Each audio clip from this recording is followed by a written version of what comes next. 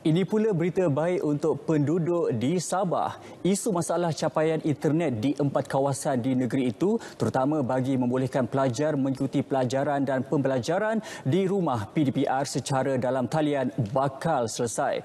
Komitmen dizahirkan Serenjaya Komunikasi dan Multimedia Malaysia MCMC yang mengambil beberapa langkah penyelesaian. Empat kawasan terlibat ialah Sekolah Kebangsaan Desa Permai Tongot di Kinabatangan, Pulau Sebatik di Tawau, Kampung Sungai Darat di Kota Marudu dan Kampung Ulu Entabuan di Tenom. Menurut kenyataan MCMC bagi Sekolah Kebangsaan Desa Permai, MCMC sandakan mengadakan pertemuan dengan penyedia perkhidmatan bagi melihat masalah yang dihadapi.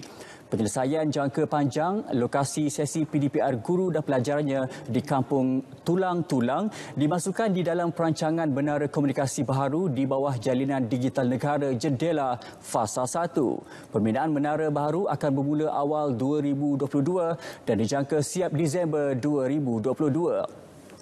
Sementara itu, servis menara sedia ada di Kampung Kuama dalam pelaksanaan naik taraf kepada 4G di bawah pelan jendela yang dijangka siap Disember 2021. Di Pulau Sebatik, pertemuan dibuat dengan wakil penduduk dan ujian kelajuan jalur lebar. Untuk penyelesaian jangka panjang, sebuah menara komunikasi telah dibina di Kampung Tamak yang dijangka beroperasi awal bulan ini dengan perkhidmatan 4G. Ia membolehkan penduduk Kampung Tamang, Sekolah Menengah Kebangsaan Well Wallace Bay dan penduduk sekitar menjalankan aktiviti seharian dengan lancar. Manakala di kampung Sungai Darat, MCMC Sabah dan penyedia perkhidmatan mengadakan pertemuan dengan pengadu. Isu capaian internet yang lemah akibat terhalang dengan bentuk muka bumi.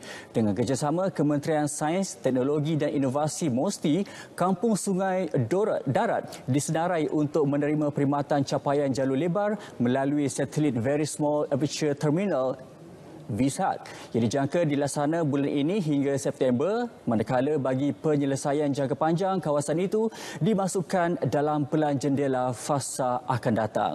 Untuk Kampung Ulu Entabuan Tenem, pertemuan akan dibuat antara MCMC Keningau dan wakil penyedia perkhidmatan esok. Penyelesaian jangka panjang kerja-kerja menaik taraf liputan 4G menara komunikasi di skim penempatan getah lagut seberang di bawah jendela. Ia sedang dilaksanakan dan dijangka siap pada Januari 2022.